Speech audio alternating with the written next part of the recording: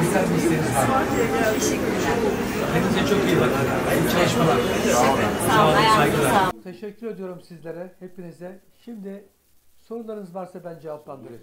Burada bu akşam güzel bir hasbihal edelim. Gökçeköy'ü mahalle oldu ama şehir konforunda köy özelliğini koruyacağız. İnşallah bakanım Değerli sayenizde. arkadaşlar hep beraber hızlı çalışacağız. Otobüslerimiz gelecek, çöp kovalarımız yenilenecek.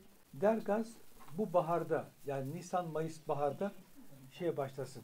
Bakanım bir şey söylemek Doğalgaz istiyorum, hatları özür döşemeye dilerim. başlasın anca yetişir.